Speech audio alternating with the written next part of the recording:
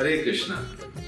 हरे Krishna television के सभी दर्शकों को हमारी पूरी टीम की तरफ़ से दीपावली की हार्दिक शुभकामनाएँ। हमारे साथ निरंतर बने रहने के लिए आपका बहुत बहुत धन्यवाद। हरे कृष्णा।